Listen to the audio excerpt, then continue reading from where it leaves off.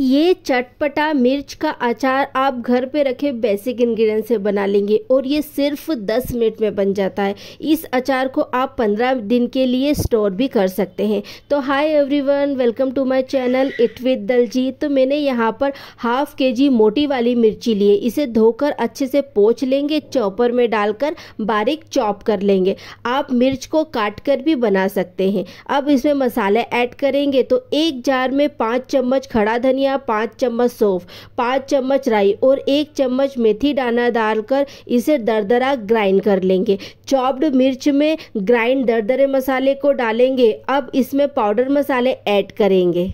एक चम्मच कलौंजी, दो चम्मच नमक, एक चम्मच लाल मिर्ची पाउडर, एक चम्मच हल्दी पाउडर, एक चम्मच धनिया पाउडर और तीन चम्मच आमचूर पाउडर डालेंगे और अच्छे से मिक्स कर लेंगे। हाफ़ लीटर सरसों के तेल को पहले अच्छा गर्म कर लेंगे, फिर इसे ठंडा कर लेंगे। गुनगुना सरसों का तेल अचार में डालकर अच्छे से मिक्स कर लेंगे। ठंडा होने पर दो से तीन चम्मच विनेगर डालेंगे और एयरटाइट कंटेनर में स्टोर कर लेंगे।